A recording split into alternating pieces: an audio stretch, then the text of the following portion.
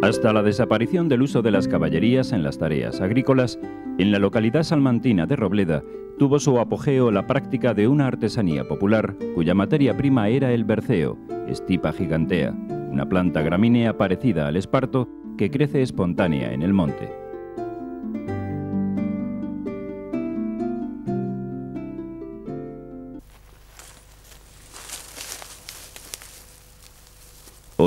Natividad Calzada todavía sigue siendo el punto de referencia del aprovechamiento de este arbusto para la cestería.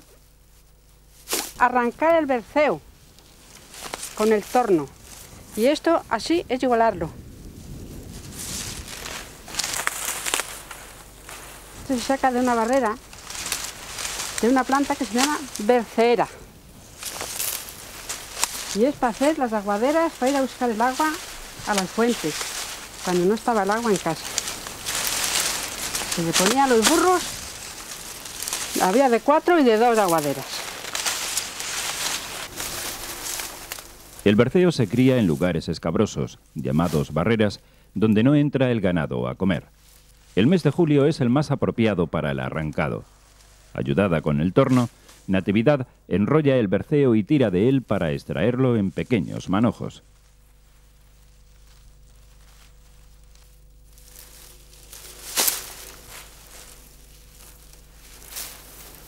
Se llama igualarlo, el manojo. Esto se llama el manojo. Ahora lo voy a atar.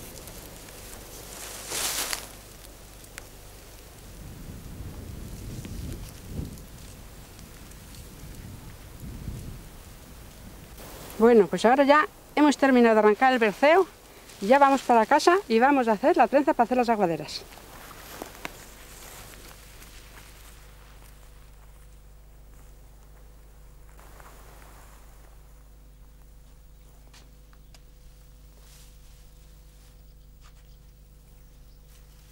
Cuando ya tiene recolectado el berceo, Natividad prepara la trenza en el patio de su casa. De aquí hay que sacar ahora siete manojos, que se llaman. Siete partes, para hacer la trenza.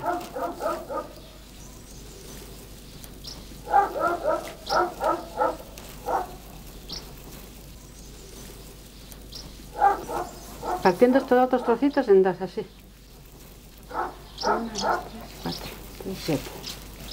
Bueno, ahora se hace así. Es, como se empieza la trenza. Ahora que ir cogiendo bajas.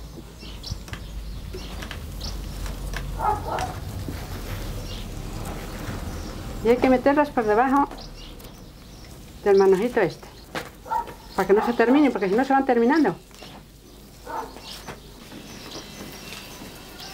Cada vez que se pasa esta de aquí de la izquierda, hay que meterle, porque si no se termina la...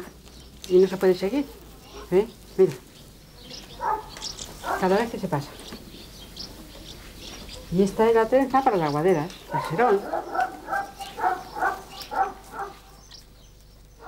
Para la elaboración de los serones y las aguaderas, Natividad, tal y como aprendió de una vecina a la que ayudaba, comienza por trenzar siete manojos formando una tira ancha. Y luego, cuando me quedé viuda, con los tres niños, eh, Tomás me quedó de ocho meses, otro me quedó de cinco años y otra muchacha de ocho. Pues me tuve que poner a hacer esto para ganar la vida, porque yo no tenía nada. En los tiempos en que Natividad se dedicaba a esta labor, el berceo había que dejarlo a secar durante unos días y luego, para trenzarlo, se remojaba previamente en agua hasta que cogiera la flexibilidad necesaria.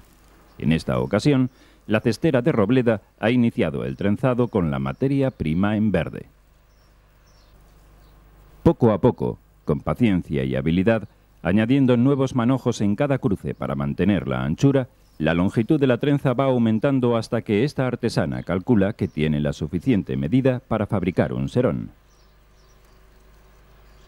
El cierre de la pieza lo realiza estrechando el trenzado hasta terminar en una punta que al final ata con un nudo. La trenza ya está terminada, ahora voy a dar el nudo. Para después ponerme a motilarla para hacer la, el serón.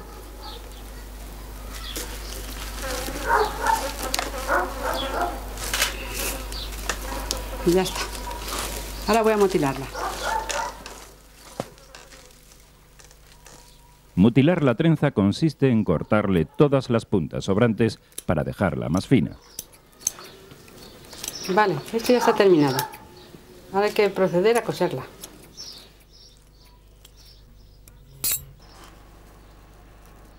Una vez que ya tiene preparada la trenza ancha, necesita el hilo para coser y cerrar la forma del recipiente.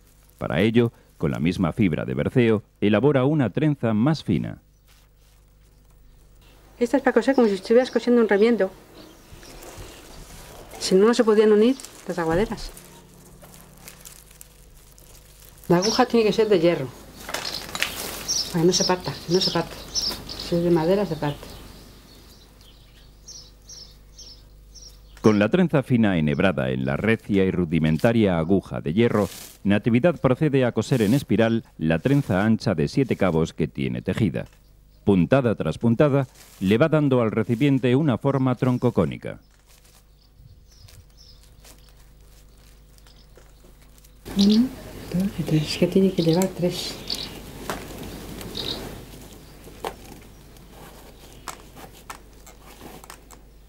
Cuando la artesana llega a consumir toda la trenza en la elaboración de la pieza, debe darle la vuelta para que la parte menos vasta del tejido quede hacia el exterior. La forma esta que lleva, esta forma. Sí, claro, porque para que coja el barril, para que no se caiga el barril. Porque si no después se cae el barril, ahora hay que hacer una vueltita y hay que irle apretando aquí arriba. Toda la vuelta. Para que cojan la forma. Pero hay que hacer otro poquito de trenza. De esta. En la última vuelta, la artesana debe mantener una misma medida en toda la superficie de la boca. Para ello, prolonga el trenzado disminuyendo su anchura. Voy a seguir cosiendo la última trenza de arriba.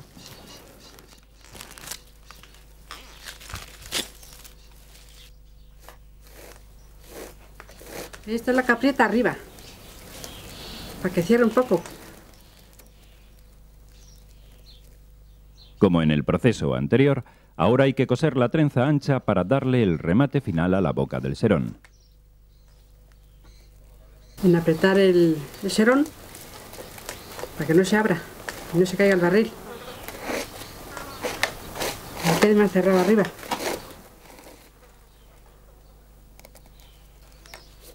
Ahora estoy haciendo el remate de arriba. Para que no se rompa esto. La trenza esa, chica, lo sujeta. Para que no se rompa. El borde de arriba. Sí, esto es rematar el serón arriba para poner un poquito de refuerzo para que no se rompa. Y cerrarlo un poco.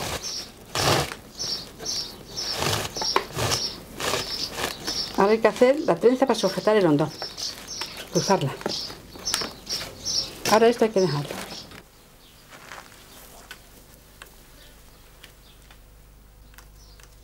Para reforzar el serón, Natividad debe preparar la traviesa tejiendo una nueva trenza de siete manojos.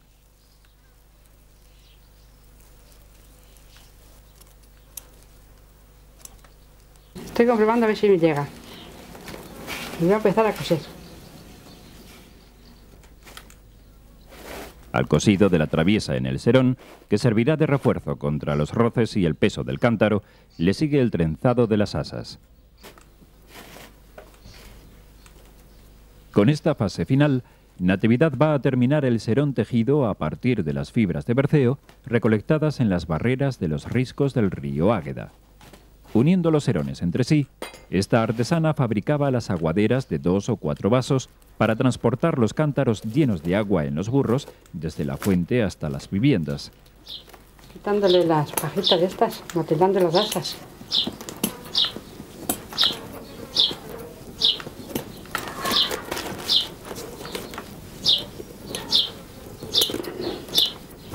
Bueno, el serón ya está terminado.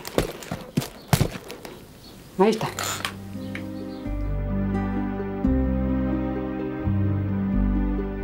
Antaño también se elaboraban serones adaptados para cargar estiércol y materiales de construcción y las esteras o pequeñas alfombras circulares. Es curioso que esta artesanía del berceo no se haya practicado en las localidades del entorno de Robleda, que también disponen de este tipo de vegetación. Se podría afirmar que Natividad Calzada es en la actualidad la única persona que conoce la técnica de trabajar esta dura y rústica planta de similares características al esparto, el berceo.